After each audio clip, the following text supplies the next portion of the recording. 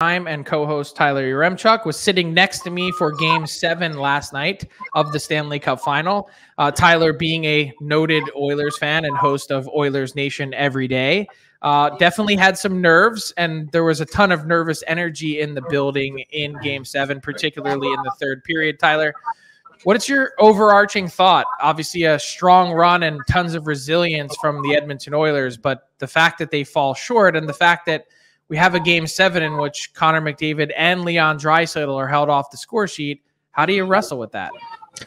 Yeah, I mean, I remember back to what you said ahead of game six, Frank, where you're like, hey, if this team gets one big game from Leon Draisaitl, they are going to win the Stanley Cup. And now you look and it's like, yeah, if they would have gotten one big game from Leon Draisaitl, they would have won the Stanley Cup. And, you know, it's disappointing to see the two stars kind of go out with a whimper like they did, not for lack of effort, it was for a lack of bounces I would say, and also a credit to Sergei Bobrovsky. But it really is kind of a sick, twisted way for it to all end for the Oilers. In years past, it was always no depth scoring, no goaltending. The blue line stunk. Every other excuse or reason in the book. And this time it was the depth that was fine. It was the goaltending that was fine. It was even the blue line that I thought was largely okay in game six and seven, but it was the stars who didn't come through. It's it's a weird twist. Well, looking uh, at the way that this did go, you're talking about the depth. You're talking about guys that step up. Was there a player on Edmonton's roster that changed your opinion of them moving forward? A guy that you were ready to send packing, and now you're feeling like this is a guy who we can keep with Connor and Leon and look to the future of trying to capture that Stanley Cup? Uh, yeah, a couple of names come to mind. First off, I think Connor Brown and Mattias Janmark are, are two guys that they need to really strongly consider bringing back in the bottom six. They were both big parts of the Oilers' penalty kill. They're pending UFAs. They shouldn't be that expensive. Um, you know, the word is always that Connor was someone last summer who went to the team and said, "Hey, I, I want Mattias Janmark back. He's really loved in the room." And Connor Brown, I mean, I think the bonus maybe stings a little bit less next year at that three point five million dollars if Maybe you bring him back on a cheap contract and at least you still have the player. And the other name, and he's on the board as an RFA, it's Philip Broberg. I mean, this is a guy who barely played in the regular season. This is a guy who was down in Bakersfield, got called up to start the playoffs, didn't play at all until the tail end of the Dallas series.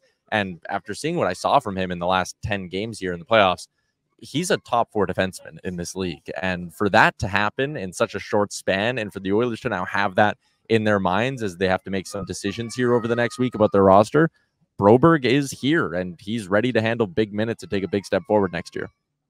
Tyler, I'm sure there's some part of you and a lot of the Oilers fan base that feels like this is a missed opportunity getting to game seven, clawing your way all the way back and not getting the job done.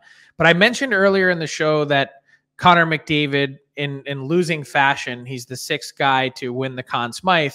J.S. Giguere, it took him a few more years with the Anaheim Ducks. He gets the job done in this in the Stanley Cup final and hoists that cup. Does this playoff run leave you more convinced than ever that this is something that's inevitable for this team and this player? Or does this feel like, hey, might not get back here? Yeah, it, it's really, really tough right now because you want to sit there and say, yeah, team with Leon Draisaitl and Connor McDavid can always get back there. And I think that's true. But at the same time, a lot of stuff went their way this year. I mean, you know, their path to the final wasn't, you know, they didn't really have to face, I feel like, a true juggernaut until round three against Dallas. Vancouver was banged up, no Demko, that still went seven. And the other thing is, the Oilers, for the most part, stayed remarkably healthy, not just in the playoffs, but kind of all season as well. I know McDavid was battling things and Draisaitl was battling things at the end, and they obviously lost Evander Kane, but it's not like they dealt with a significant injury to any of their key players that would have caused them to miss three months or even, you know, three to four weeks during the regular season. So, so many things went right that you kind of sit there and go, man, it, it's a reminder of how many things have to break your way to go on a run like the Oilers did. But I still think at the end of it, I come out more on the side of Connor McDavid and Leon Draisaitl. They can will this team to another run like this. They can get it done, and they've now lost in every round of the Stanley Cup playoffs together during their time uh, or during this era here with the Oilers they'll be back. And, you know, maybe it's just one of those situations where you had to learn one more tough lesson if you're the Oilers. Yeah, I tend to agree with you. I had a current NHL player just text me right now while I'm doing the show. His text says, Hard to believe McDavid hasn't won a cup yet.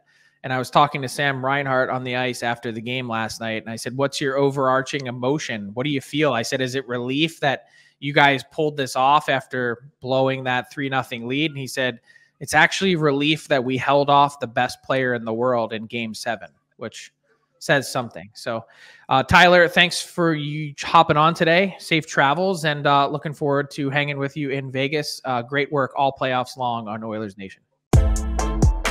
What's up, hockey fans? If you enjoyed that video, then you need to be hitting the subscribe button right here at Daily Faceoff. Exclusive interviews and analysis from our hockey insider Frank Seravalli, fantasy updates from Brock Sagan, and a daily live show at noon Eastern, Monday through Friday. You don't want to miss any of the fantastic content, so hit that subscribe button.